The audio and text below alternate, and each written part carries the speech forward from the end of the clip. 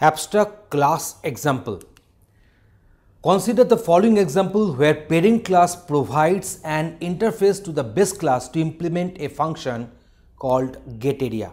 So in the previous video, we have discussed what is an interface, what is the abstract class and what is a pure virtual function and what are the different other details.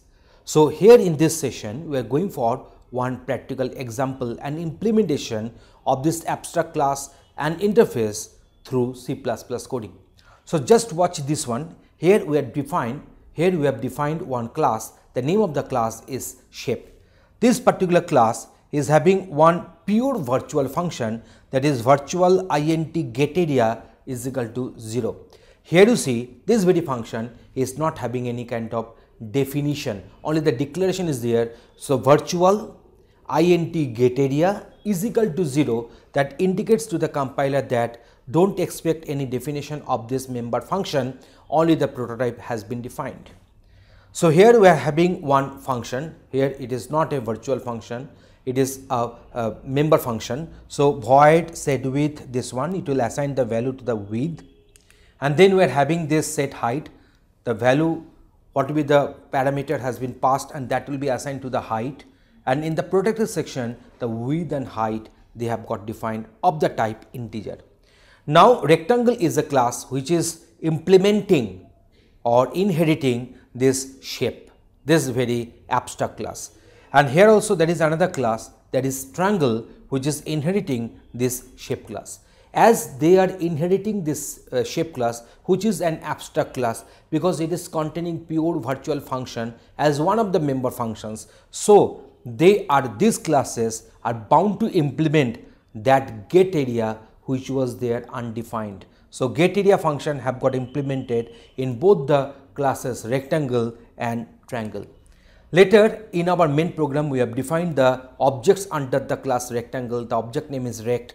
We have defined this object that is try under the class triangle and then rect dot set width rect dot set height we have defined them and then we are getting its area by the respective calculations. And similarly for the triangle and the triangle area has got pre-printed and in this way the program has got terminated. So let us go for one practical demonstration where we will be writing our codes in C++, we shall compile and run and we shall explain once again when the outputs will be coming on the screen. So here is the demonstration for you. In this program, we have defined one class that is the name of the class is shape. Under this shape, under the public section, we have defined two member functions set width and set height to initialize this width and height these two member variables defined under the protected section. Here we are defining one virtual int getArea. This particular function is equal to 0. It is known as the pure virtual function. It is providing the interface framework. It is possible that you want to include a virtual function in a base class as here it is shape so that it may be redefined in a derived class to suit the objects of that class.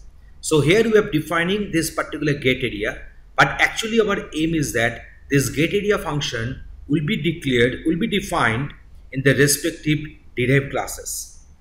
Uh, and uh, but there is no meaningful definition you could give to the function in the base class as we have done here. So according to our requirement, we shall rewrite this function getArea in our derived classes.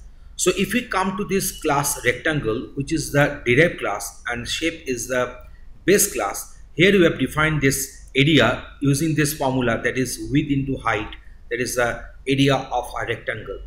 In case of class triangle, that is also another derived class for the base class shape. And here this getArea function has got redefined with this particular formula that is width into height by 2. So now here in the main function we have defined the rectangular class rectangle class object RECT and triangle class object TRI. Here we have done this set width functions. We have called this set width and set height these two setter functions to initialize width and height. And now when we are calculating this area of this rectangle, we'll be getting the respective area which will be nothing but the product of this 5 and 7 and that would be 35 So now here you see we have executed our code and the output will be coming after compilation and there will be getting the output as 35. Now in the second case you can find that in the second case here we have uh, the, we have initialized this width and height of this triangle class and this width and height are the member variables of this triangle class which have got inherited from the base class shape.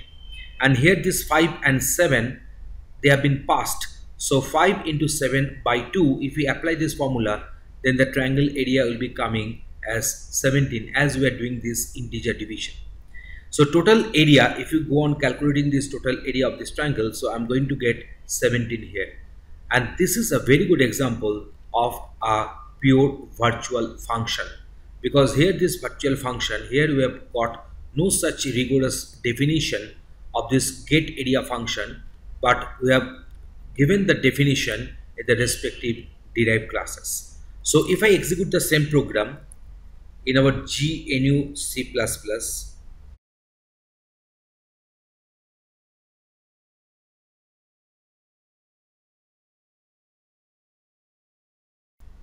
we are going to get the same output as we have obtained in our dev C++ output. Now, I think now the conception is clear to you and thanks for watching.